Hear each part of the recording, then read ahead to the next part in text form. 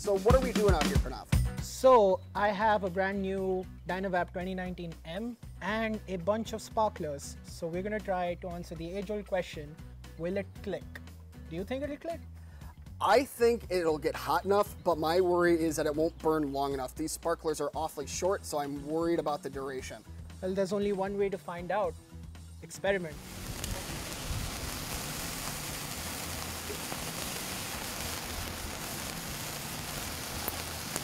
Ooh, that was quick.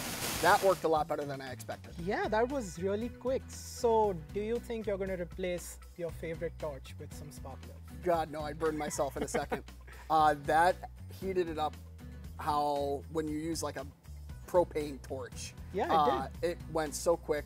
You still had half the sparkler left to be able to heat it. You could have heated a whole bunch of VapCaps with that set.